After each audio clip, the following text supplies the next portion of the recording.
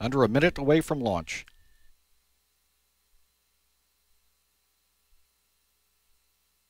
T minus 40 seconds. The Centaur tanks will reach flight pressure at T minus 30.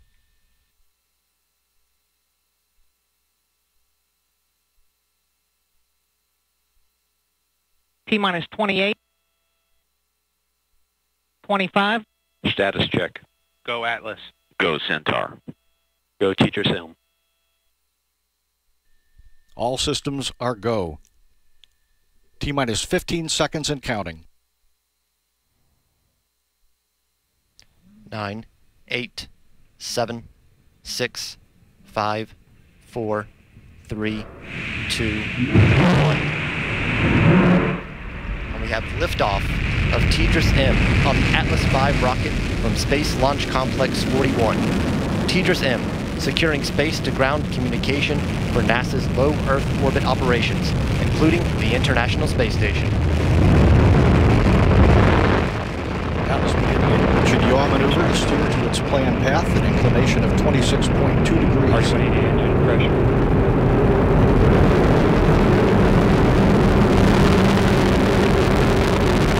You're hearing the voice of Patrick Moore providing launch vehicle ascent data. Patrick is the United Launch Alliance Denver Network Operations Center continuing to Command perform Control Center. Pump speeds and injector pressures all looking good. Now Reading the data coming directly from the rocket. flight. The Atlas And rocket carrying observing, TDRS uh, M nominal will flight reach control supersonic speed at 1 minute and 20 seconds into flight.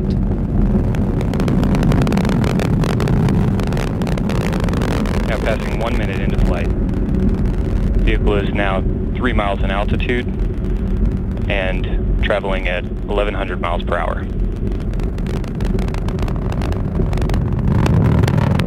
Standing by for max Q Now passing one minute, 15 pressure. seconds into flight. 32 seconds into flight. Mach 1, Atlas 5 is now supersonic.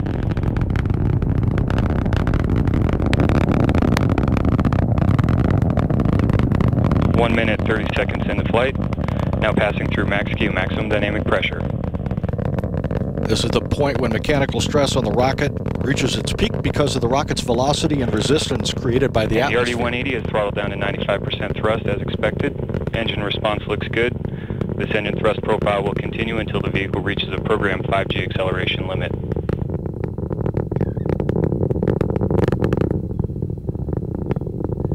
About two minutes into the flight and of now Atlas, passing two minutes into flight, approximately two minutes remaining in the first stage of flight. Vehicle trajectory traveling right down the middle of the range track, looking good. RD-180 engine operating parameters also looking good. booster engine cutoff slated for four minutes two seconds after launch. The Atlas V rocket now weighs just one half of what it did at launch, burning propellant at a rate of almost 2,600 pounds per second. And vehicle has gone to closed loop guidance. Now passing 2 minutes 30 seconds into flight.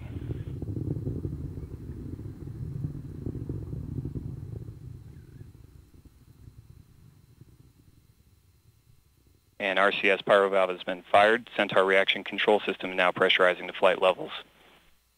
Atlas V is now 30 miles in altitude, 43 miles downrange distance, traveling at 4,700 miles per hour.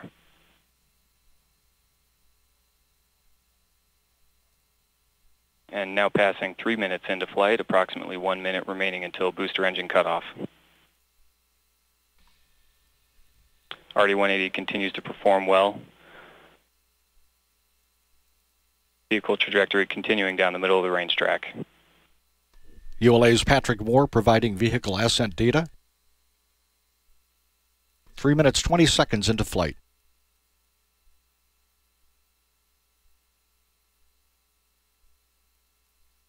Now passing 3 minutes 30 seconds into flight.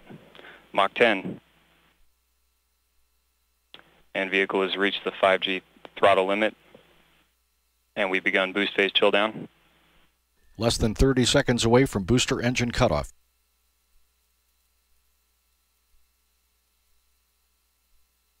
Three minutes 50 seconds into flight, standing by for BECO momentarily. Six seconds after BECO, the Centaur second stage will separate from the Atlas booster. And we have BECO booster engine cutoff, standing by for stage set. 10 seconds after And we have good indication of stage separation. The Centaur single RL-10 engine ignites for the first time.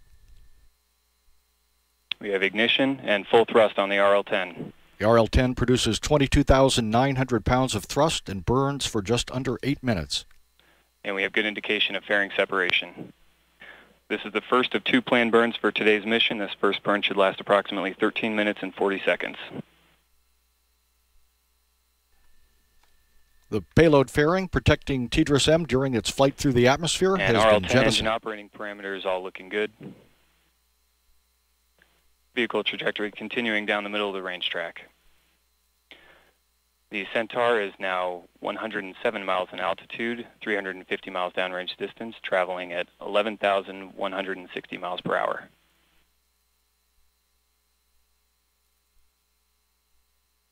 And the reaction control system has begun periodic firings to maintain thermal conditioning as expected.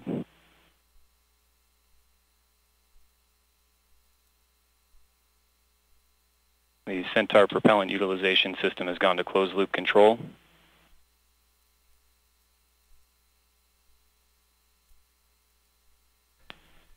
Now passing 5 minutes 30 seconds into flight. Initial look at booster performance shows a near nominal performance. Uh, data quality continuing to look good from this uh, initial phase of flight.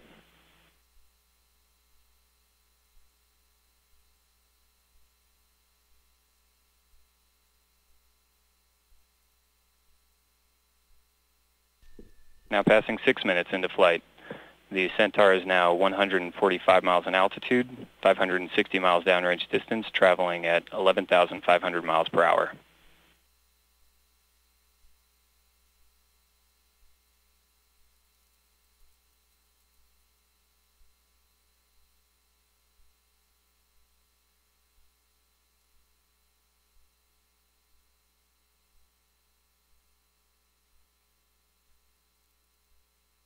Now passing six minutes, 30 seconds into flight, RL-10 continuing to perform well.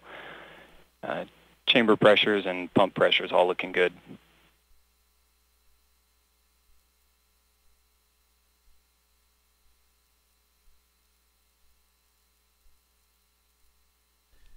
About 11 minutes remaining in the Centaur burn prior to MECO 1.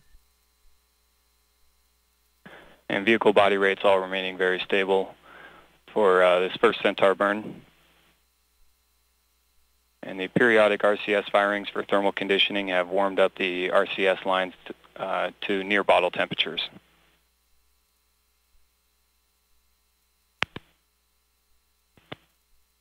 And engine pressures all continuing to remain very stable, looking good. Centaur is now 173 miles in altitude, 815 miles downrange distance, traveling at 12,000 miles per hour.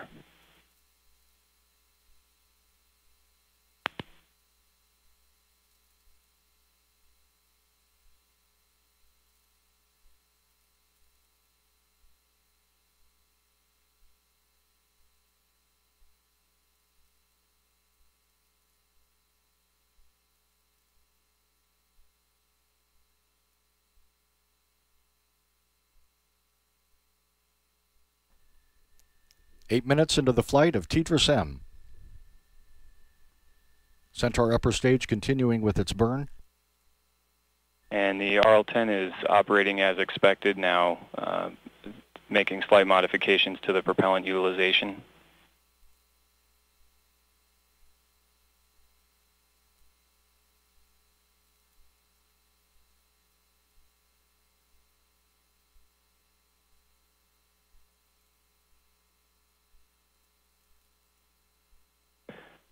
Now passing 8 minutes 30 seconds into flight, RL-10 continuing to perform very well. Vehicle trajectory continuing down the middle of the range track.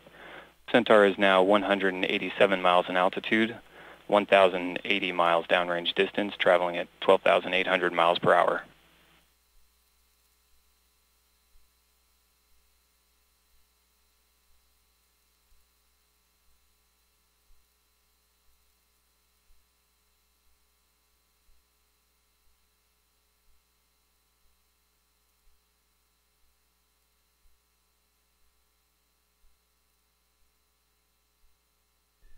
Computer graphics showing the TDRS M spacecraft atop the Centaur upper stage.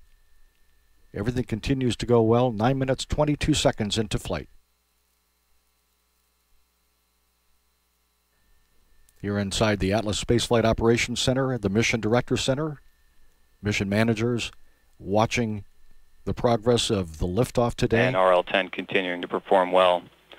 Uh, Centaur PU requesting a near nominal mixture ratio.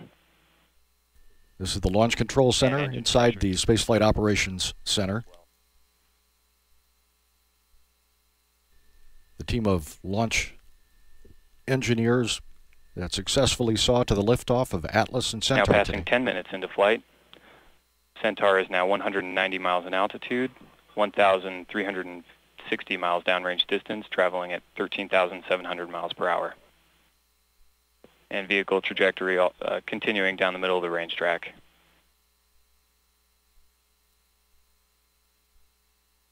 RCS activity is as expected, continuing with periodic firings to maintain thermal conditioning of the system.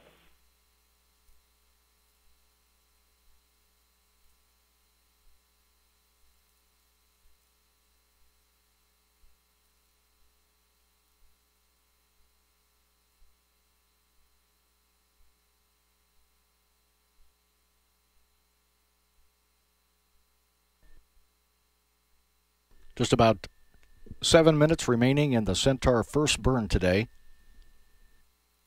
taking the TDRS spacecraft to its initial point in space.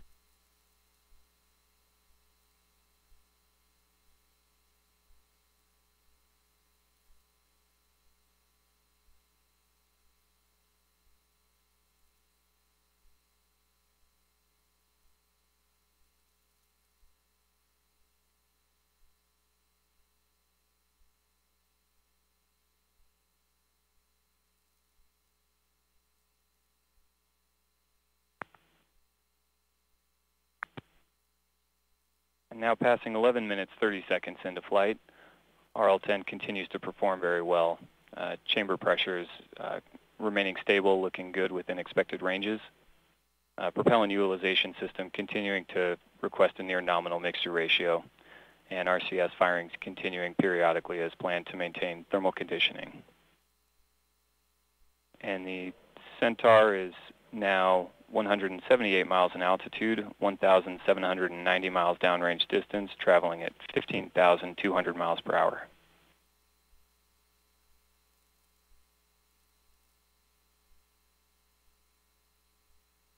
Patrick Moore from United Launch Alliance providing vehicle ascent commentary for us.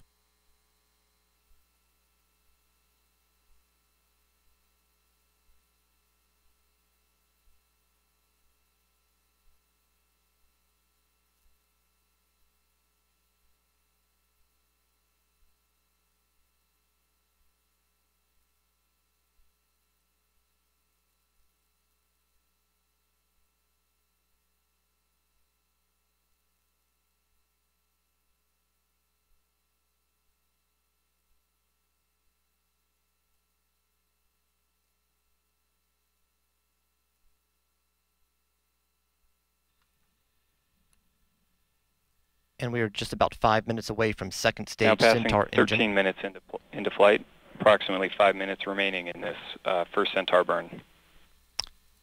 about five minutes away from the second stage main engine cutoff. After that, there will be a long coast phase which will last approximately 90 minutes before spacecraft separation.